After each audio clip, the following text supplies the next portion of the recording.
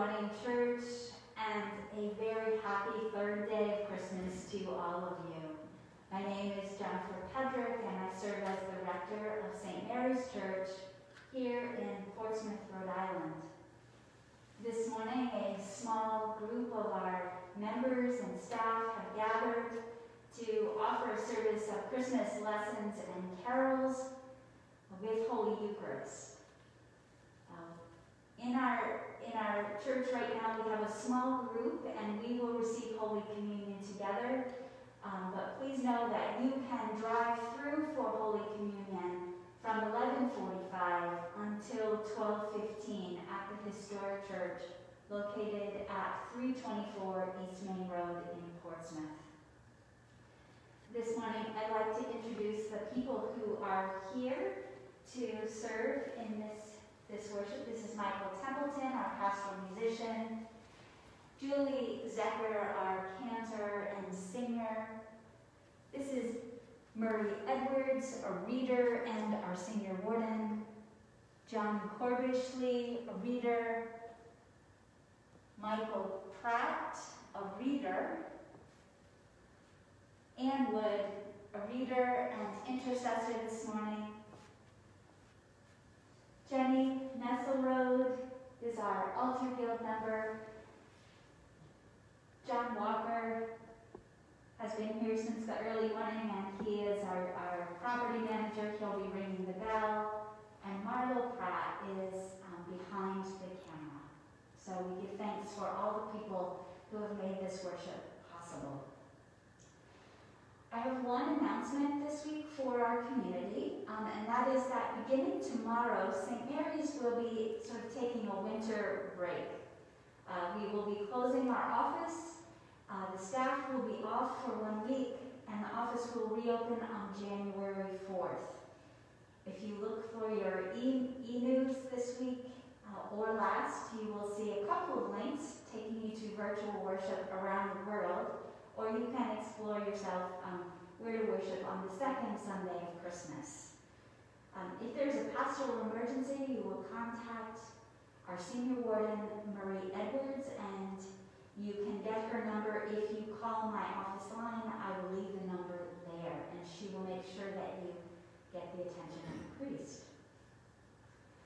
Finally, I just would like to say thank you to the St. Mary's community as we close out this year 2020, a time when we said pretty much every week, we've never done it this way before, and we have been adaptable and flexible, and we have been blessed because our members have remained spiritually connected and faithful and generous. And so I just want to say thank you to the St. Mary's community. And we will be together again and we will continue to uh, worship and be a loving um, community of worship, well-being, and service um, soon. So we're going to have just a moment of quiet as we prepare ourselves for worship. Please stand as you are able for the ringing of the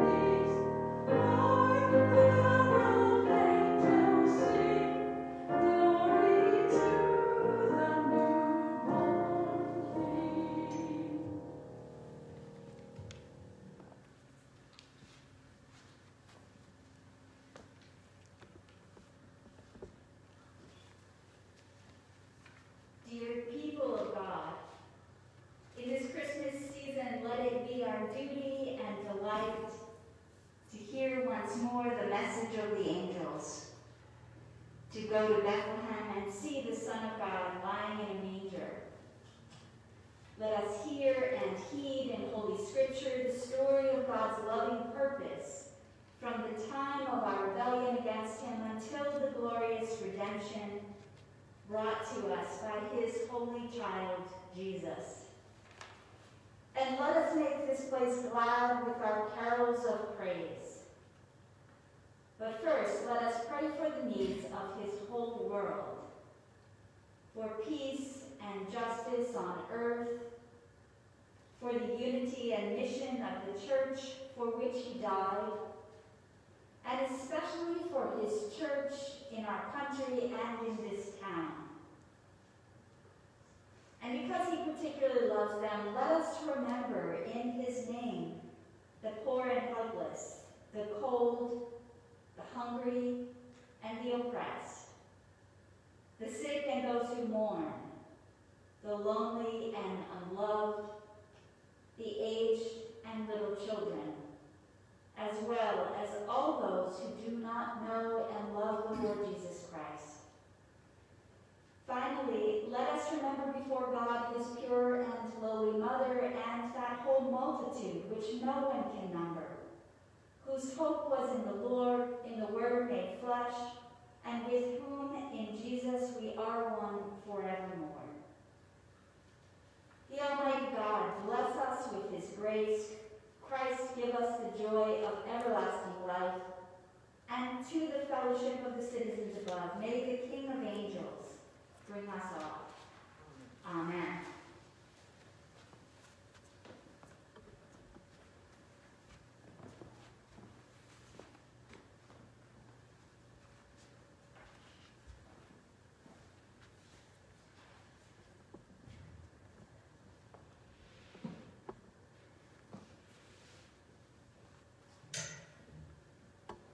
A reading from the book of Genesis. Adam and Eve rebel against God and are cast out of the Garden of Eden. Now the serpent was more crafty than any other wild animal that the Lord God had made. He said to the woman, Did God say, You shall not eat from any tree in the garden? The woman said to the serpent, We may eat of the fruit of the trees in the garden. But God said, You shall not eat of the fruit of the tree that is in the middle of the. But God said, Nor shall you touch it, or shall you shall die.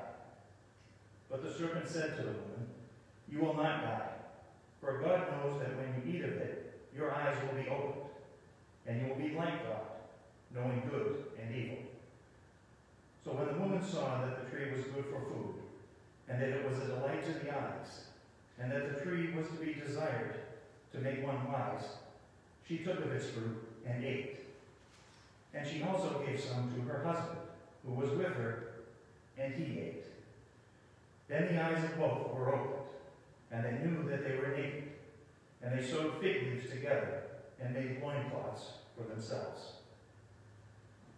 They heard the sound of the Lord God walking in the garden at the time of the evening breeze. And the man and his wife hid themselves from the presence of the Lord God among the trees of the garden. But the Lord God called to the man. He said to him, Where are you? He said, I heard the sound in the garden, and I was afraid, because I was naked, and I hid myself. He said, Who told you that you were naked? Have you eaten from the tree of which I commanded you not to eat? The man said, The woman who gave you to be with me, she gave me fruit from the tree, and I ate. Then the Lord God said to the woman, What is it that you have done? The woman said, The serpent tricked me, and I ate. The Lord God said to the serpent, Because you have done this, cursed are you among all animals, and among all wild creatures. Upon your belly you shall go, and dust shall you eat all the days of your life. I will put enmity between you and the woman, and between your offspring and hers. He will strike your head, and you will strike his heel.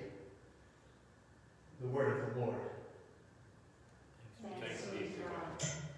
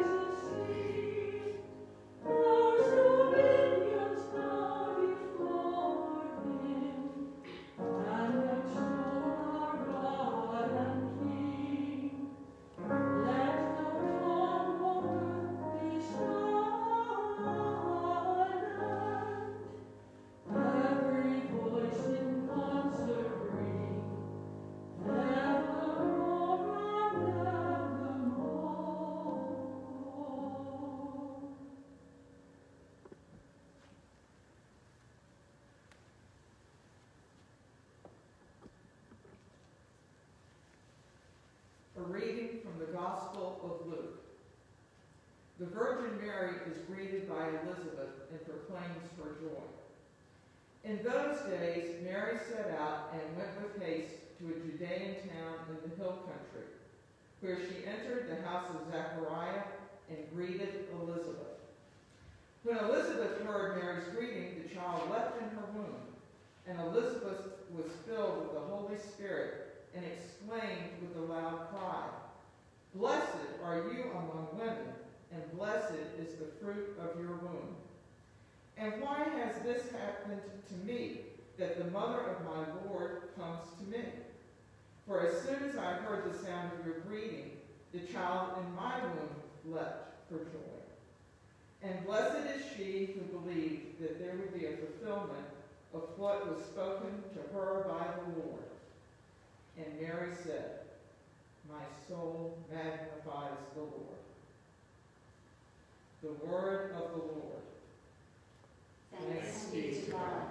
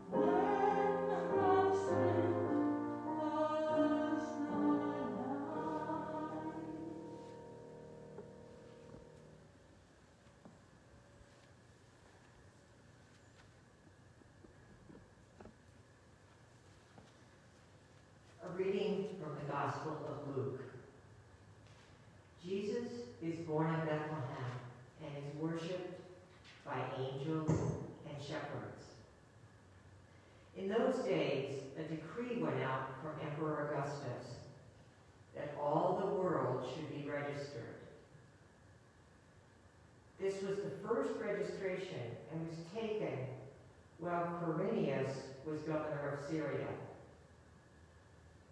All went to their own towns to be registered. Joseph also went from the town of Nazareth in Galilee to Judea, to the city of David called Bethlehem, because he was descended from the house and family of David. He went to be registered with Mary, to whom he was engaged, and who was expecting a child. While they were there, the time came for her to deliver her child. And she gave birth to her firstborn son and wrapped him in bands of cloth and laid him in a manger because there was no place for them in the inn. In that region, there were shepherds living in the fields, keeping watch over their flock by night. Then an angel of the Lord stood before them, and the glory of the Lord shone round them. And they were terrified. But the angel said to them, do not be afraid. For see, I am bringing you good news of great joy for all the people. To you is born this day in the city of David a Savior who is the Messiah, the Lord. This will be a sign for you. You will find a child wrapped in bands of cloth and lying in a manger. And suddenly there was with the angel a multitude of heavenly hosts, praising God and saying, Glory to God in the highest heaven, and on earth peace among those whom he favors. When the angels had left them and gone into heaven, the shepherds said to one another, Let us go now to Bethlehem and see this thing that has taken place, which the Lord has made known to us. So they went with haste and found Mary and Joseph and the child lying in the manger. When they saw this, they made known what had been told them about this child. And all who heard it were amazed at what the shepherds told them. But Mary treasured all these words and pondered them in her heart. The shepherds returned, glorifying and praising God all they had seen and heard, as it had been told them. The word of the Lord.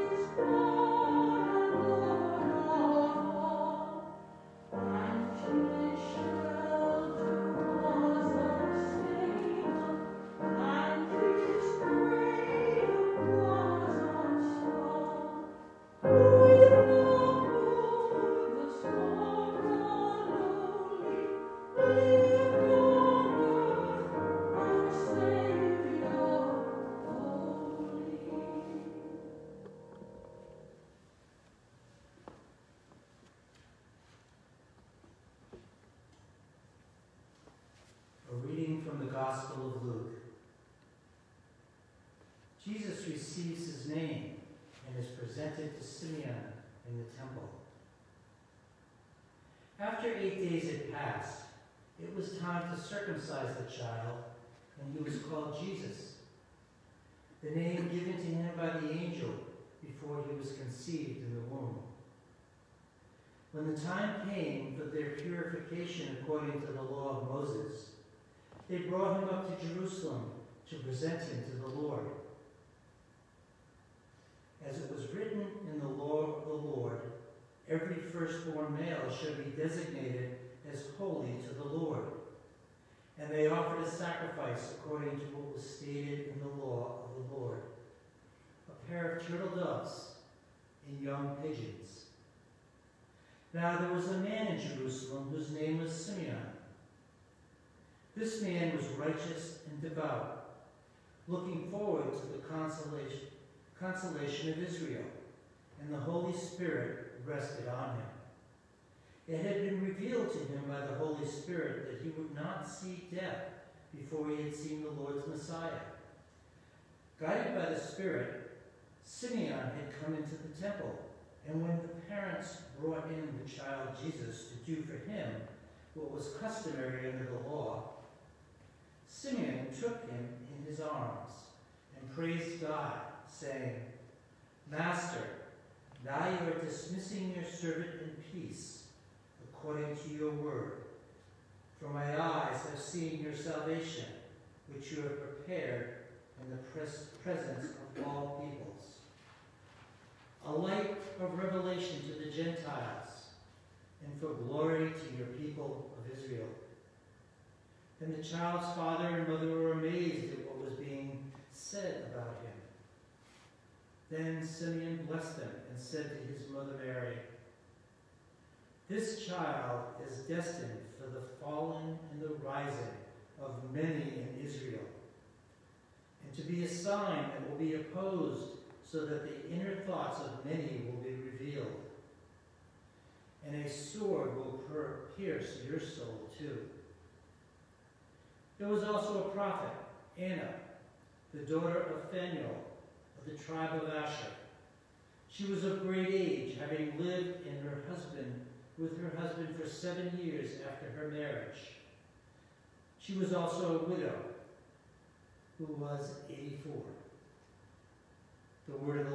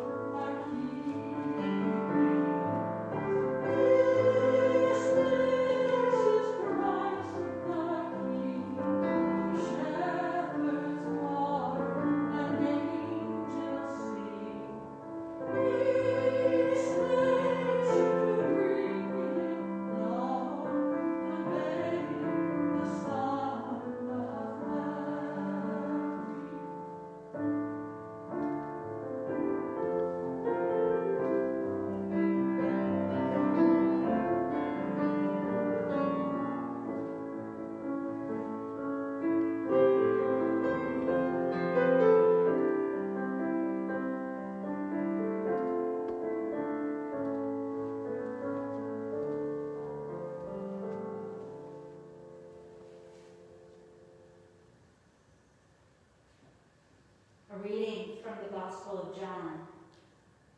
The Word was made flesh, and we have seen his glory. In the beginning was the Word, and the Word was with God, and the Word was God. He was in the beginning with God. All things came into being through him, and without him, not one thing came into being. What has come into being in him was life, and the life was the light of all people. The light shines in the darkness, and the darkness did not overcome it. There was a man sent from God whose name was John. He came as a witness to testify to the light so that all might believe through him. He himself was not the light, but he came to testify to the light. The true light, which enlightens everyone, was coming into the world. He was in the world, and the world came into being through him, yet the world did not know him. He came to what was his own, and his own people did not accept him. But to all who received him, who believed in his name, he gave power to become children of God, who were born not of blood or of the will of the flesh or of the will of man, but of God. And the Word became flesh and lived among us, and we have seen his glory, the glory as of a Father's only Son, full of grace and truth. John testified to him and cried out, This was he of whom I said, He who comes after me ranks ahead of me because he was before me. From his fullness we have all received grace upon grace. The law indeed was given through Moses. Grace and truth came through Jesus Christ. No one has ever seen God. It is God, the only Son, who is close to the Father's heart, who has made him known. The word of the Lord. Thanks be to God.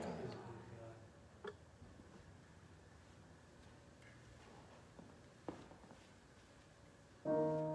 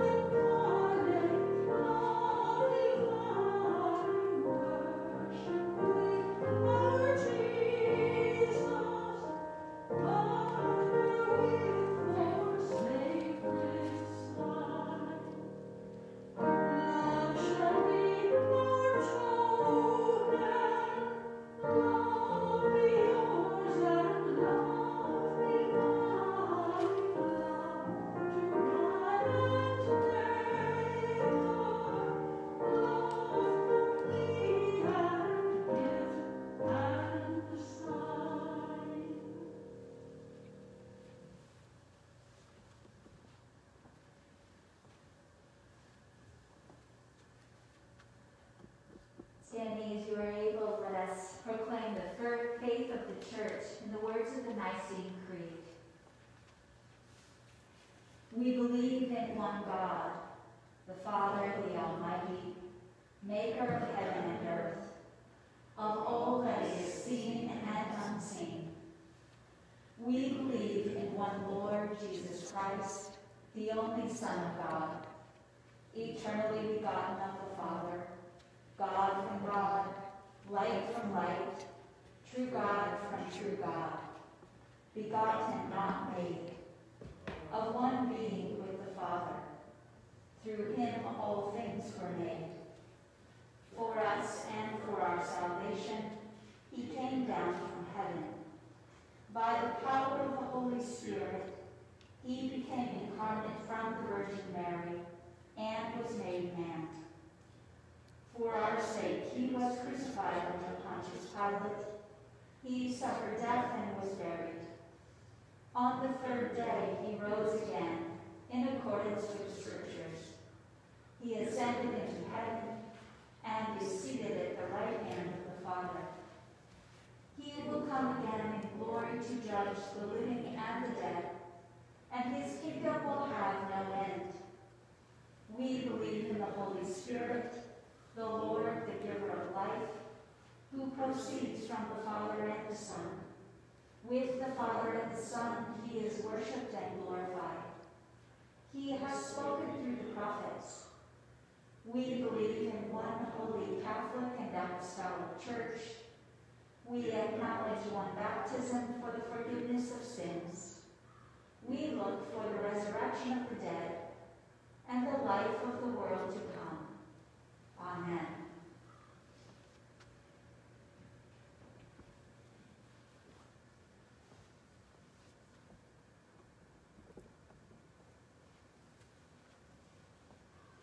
Come, let us adore Christ the Savior. Pray for God's people in every place and condition. Light of the world, shine in our darkness. Christ our Savior, we humbly adore you. Make joyful our hearts. Strengthen your church with humility and faith that we may know you as you come close. Light of the world. Shine in the darkness. Christ our Savior, we humbly adore you. You are found in what is simple and lowly. Shine your light on all the world that the nations may look upon your truth and find their salvation. Light of the world. Shine in the darkness. Christ our Savior, we humbly adore you. May all of creation burst forth in songs of praise. May all the works of your hand, Lord, glorify you. We thank you for all of our blessings. For what else shall we give thanks? For the COVID-19 vaccine, for all of the health and medical workers, for everyone who works in schools, for our church. Light of the world. Shine in the darkness. Christ our Savior, we humbly adore you. Gather the people of the world to yourself. Make all of the distractions and heartaches of our lives fade away in the joy of your presence. Light of the world. Shine in the darkness. Christ our Savior, we humbly adore you. You love us so dearly. Grant your healing grace to sinners, to the poor, to those in need of love. Open your arms to the sick, the grieving, and the lonely. We pray especially for Priscilla, Judith, Ned, Renee, David, Maggie, Phyllis, David, Pauline, Lori, Patty, April, Chaz, Bob, and those we name aloud.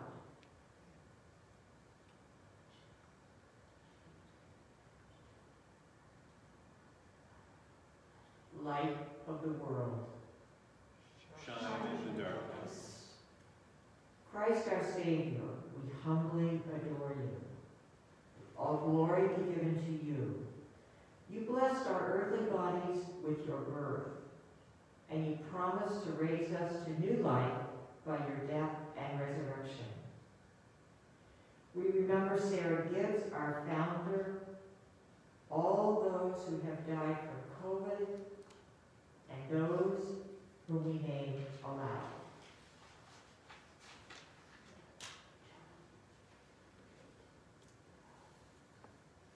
Light of the world, Shine in the darkness. O God, who wonderfully created and yet more wonderfully restored the dignity of human nature, grant that we may share in the divine life of him who humbled himself to share our humanity. Your Son, Jesus Christ, who lives and reigns with you in the unity of the Holy Spirit, one God, forever and ever. Amen. The peace of the Lord be always with you. Also with you. Peace.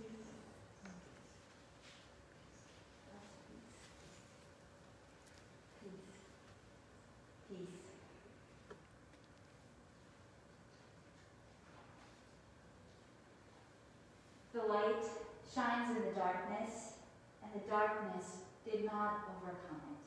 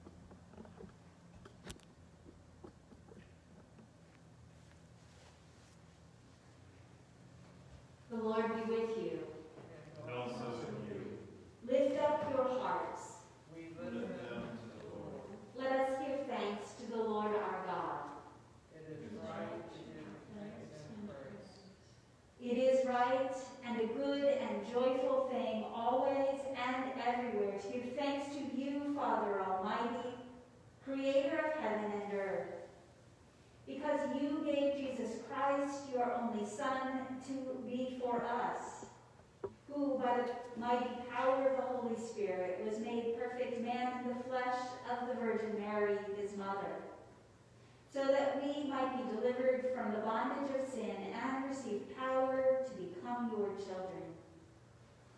Therefore we praise you, joining our voices with angels and archangels and with all the company of heaven who forever sing this hymn to proclaim the glory of your name.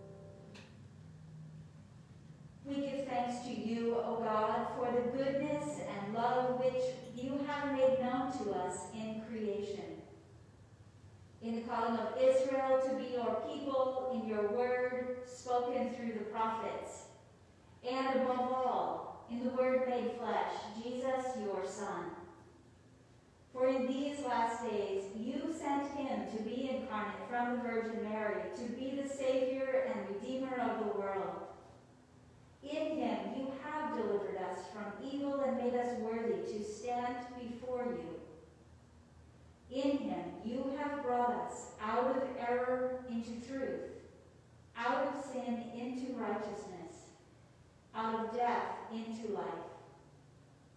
On the night before he died for us, our Lord Jesus Christ took bread. And when he had given thanks to you, he broke it and gave it to his disciples and said, Take, eat. This is my body, which is given for you. Do this for the remembrance of me.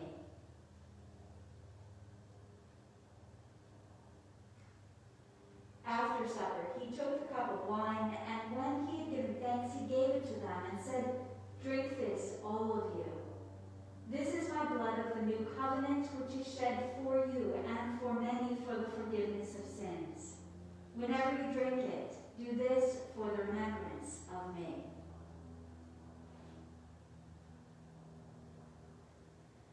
Therefore, according to his command, O Father, we remember his death, we proclaim his resurrection, we await his coming in glory, and we offer our sacrifice of praise and thanksgiving to you, O Lord of all, presenting to you from your creation this bread and this wine.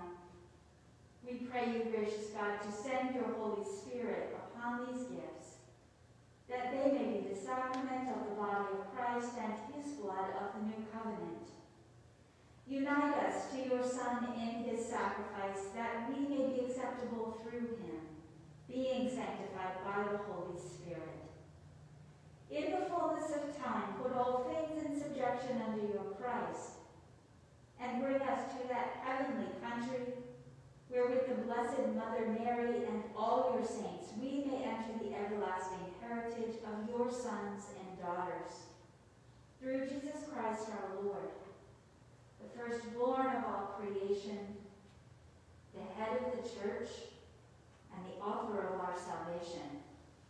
By him and with him and in him in the unity of the Holy Spirit. All honor and glory is yours, Almighty Father, now and forever. Amen.